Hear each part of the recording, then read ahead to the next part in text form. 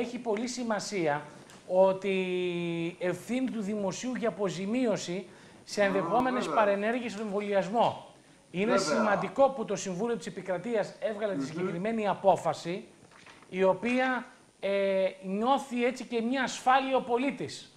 Ε, ε, Φίλιππε, μιλάμε για την απόφαση 622 του 2021 και είναι μία απόφαση σταθμός γιατί κυριολεκτικά ανοίγει το δρόμο για αποζημιώσεις τόσο σε δυνάμει θύματα ή θύματα ε, όπως και συγγενείς τους ε, προς αποζημίωση και για ηθική βλάβη ακόμα, αλλά και οικονομική φυσικά, σε περίπτωση που πάθουν το οτιδήποτε από ε, περίπτωση βλάβης ή θανάτου από εμβολιασμό. Ναι. Αυτό λοιπόν έγινε Φίλιππε με αφορμή μία περίπτωση όπου μία μητέρα έχασε μετά από 9 χρόνια που είχε κάνει το εμβόλιο στο παιδί της για παροτίτιδα, ηλαρά και άλλη μία και την ερυθρά, το, αυτό το τρι- τριπλό εμβόλιο, Ναι. το κοριτσάκι 7 χρονών έμεινε παράλυτο για 9 ολόκληρα χρόνια και τελικά πέθανε, έφυγε από τη ζωή από πανεγκεφαλίτιδα πριν από λίγο καιρό.